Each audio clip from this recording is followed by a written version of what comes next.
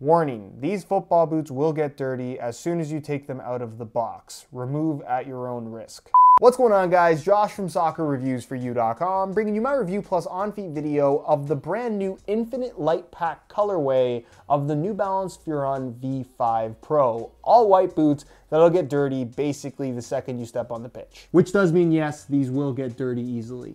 So what we're gonna do is take a closer look at the boots, talk tech specs and all the details that you should know about them, and also discuss why I think New Balance might be the brand to watch out for over the next couple of years. So if you wanna learn everything there is to know about the Furon V5 Pro, including how they fit and feel on feet, please stick around, watch the entire video, and if you're interested in a pair of these for yourself, they normally retail for $230, but New Balance has actually provided SR4U fans with a special price that you can see by clicking the first link down below. So if you're interested in a pair, be sure to go ahead and check that out. If you guys do end up enjoying this video and perhaps want to see more boot reviews from smaller brands, don't forget to support this one with a like. And if you're new here watching for the first time and don't want to miss out on daily content from me, be sure to hit that subscribe button along with the little bell notification so you get notified when the next new video goes live. They're already slightly dirty. So included with the boots is obviously the box, but they do include a couple of extras as well. An extra set of comfort insoles to go along with the lightweight ones already inside of the boots. These ones featuring a really soft mesh lining material on top, and they're made from a thicker layer of this Ortholite foam actually pretty decent quality. Also included with the boots is a string bag that's actually a nicer material than the usual New Balance string bags. You can see it's white in color with the New Balance football branding and kind of this light tan color. It does have the strings at the top so you can secure what's inside the bag as well. And overall, the fact that they include a string bag at all is nice to get with any top end football boot. So this gets a string bag rating of 7.98 out of 11.41.1. Now the New Balance Furon line as a whole doesn't have the greatest reputation. Furon 1, 2, and 3 can all be wiped from existence as far as I'm concerned. Furon 4 was a solid improvement and now that we're on the fifth generation, I really feel like New Balance has done their best job yet and they legitimately have a contender for a top end pair of speed boots. But then there's two ways of looking at it. It's a speed boot that fits great, offers an incredible barefoot touch on the ball, has really good traction as well, and really does have this kind of sprinter spike feel to it. But at the same time, it could be a lot lighter. Not to say that they're heavy, but they're not as light as some of the main speed boots that it's currently competing against. But I would say that if you're a fan of a boot that has all the speed boot characteristics, but you don't necessarily need something that is extremely light, this is going to be not only one of the better options in terms of touch on the ball, I would say, but from a comfort standpoint, it's a really solid option, especially if you have wide feet, because while I have the regular fit version right here, they do also make this in wide fit. And that's really the reason why I think New Balance is the brand to look out for over the next couple of years, because right now they have two lines of football boots where the top end models are legitimately that good. I definitely prefer the Tekela, and right now I'd say the Tekela is in my top three rotation. I like the boots that much, but both models are really that close to being some of the best options currently on the market. And the fact that they're constantly improving with each new generation of New Balance football boots leads me to believe that they are going to be a legitimate contender in the football boot industry sooner rather than later. That's becoming my signature saying on this channel. So I guess we'll start with the colorway, which of course is part of the Infinite Lite Pack, which is basically a whiteout but with a bit of a twist. Obviously the upper, the laces, the liner, pretty much everything you can see is white in color, but the New Balance logo on either side, as you can see, has this kind of multicolor, sparkly kind of color changing effect to it, which looks really, really cool. It blends in, but it's a very subtle bit of accent that I quite like the look of. And then the sole plate, which I believe is a wearable finish, although it didn't come with any kind of warning stickers. Either way, it looks very cool. It's got this kind of oil slick finish to it, but it's basically like a bright white with some golds and purples and greens in there. Very fun to look at, very cool as it moves through the light. Uh, and overall, just a great looking pair of football boots. A lot of people often ask me what my personal favorite colorway is, and I can't say that there's really one in particular that I really like, but in general, given the choice, I'm a big fan of white boots, and I think whiteouts in particular always look really good. Obviously, they get dirty very easily, but even dirty whiteout boots, in my opinion, still look pretty cool. Now, the upper on the Furon V5 Pro, I think, is one of the more underrated uppers on the market right now. It is their Phantom Fit material, which is more so the base layer. That is the kind of grid pattern that you find throughout the entire upper, which is a base synthetic then you have a thin layer of mesh on top as an added layer of structure. And then you have what's called their Hydraskin top layer, which is basically the TPU film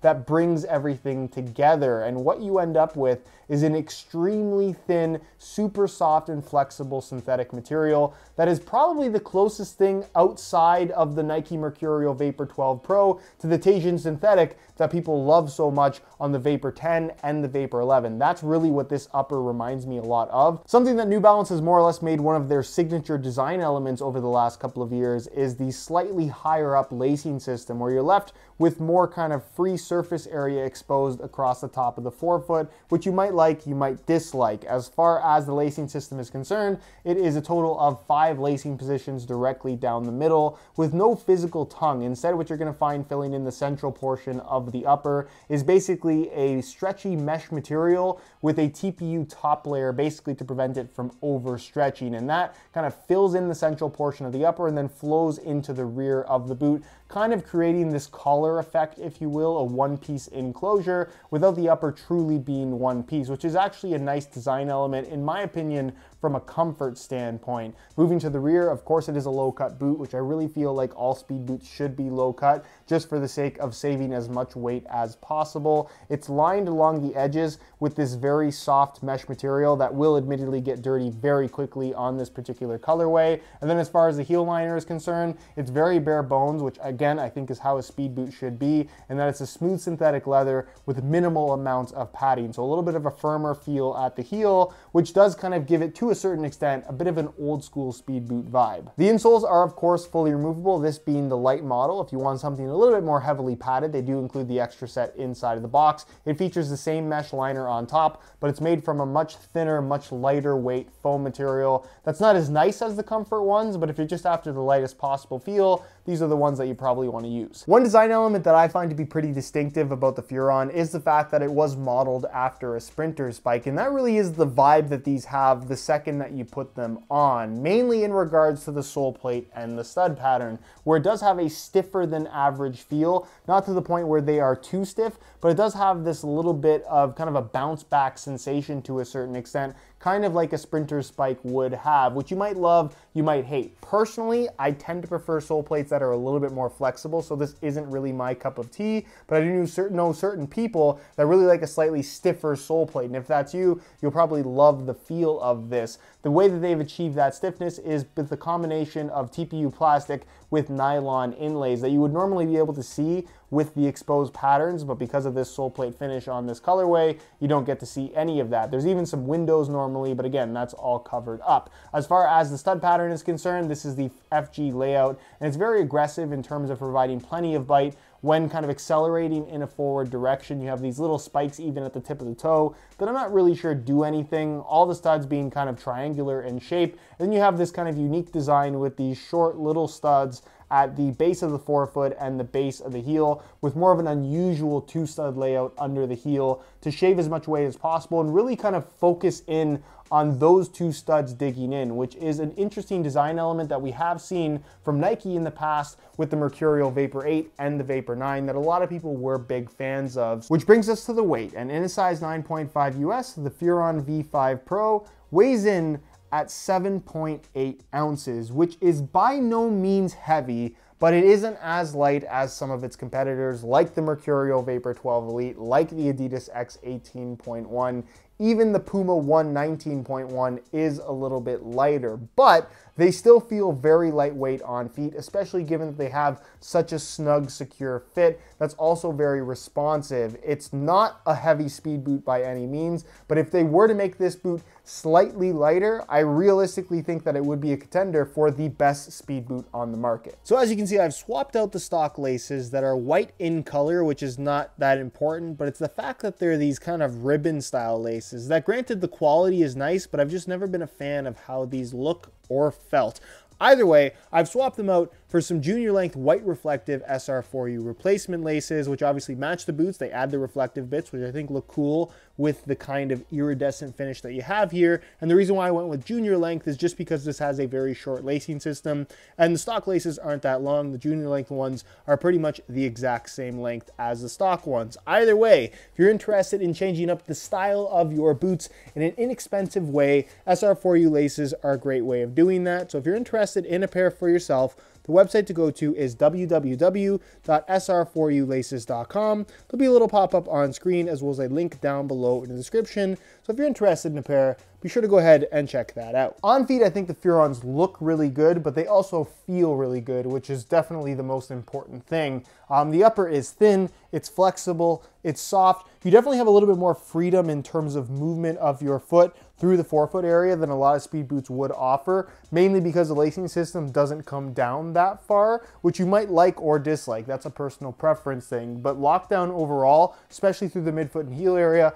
I would say is very, very good. And the boots just have a very responsive, kind of springy feel to them, especially because of that stiffer sole plate and a stud pattern that really does seem to put you on your toes, which is a very, I guess, important characteristic for a pair of speed boots to have. As far as overall fit is concerned, it doesn't really have any extra dead space inside of the boot. I think they got the shape and the volume just right, and that is one of the improvements that they made coming from the previous generations of Furon. I think the shape is dead on. Um, and in terms of width, this being the regular width variation, they do make a wide fit version as well. There's definitely some decent width here, uh, but not to the point where they are overly wide by any means. They fit nice and snug, and honestly, I think will fit most people quite comfortably. And as far as sizing is concerned, I'm wearing these in my usual size 9.5 US, and the fit and length is perfect. So if you are looking to order a pair for yourself, I'd strongly recommend going true to size in order to achieve the best possible fit. So in conclusion, there's no doubt in my mind that the New Balance Furon V5 Pro is a capable top-end speed boot, and it truly is one of the most underrated football boots on the market right now. It has pretty much all of the speed boot characteristics that you could possibly want,